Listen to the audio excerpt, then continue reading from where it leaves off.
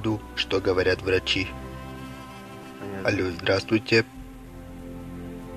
Что?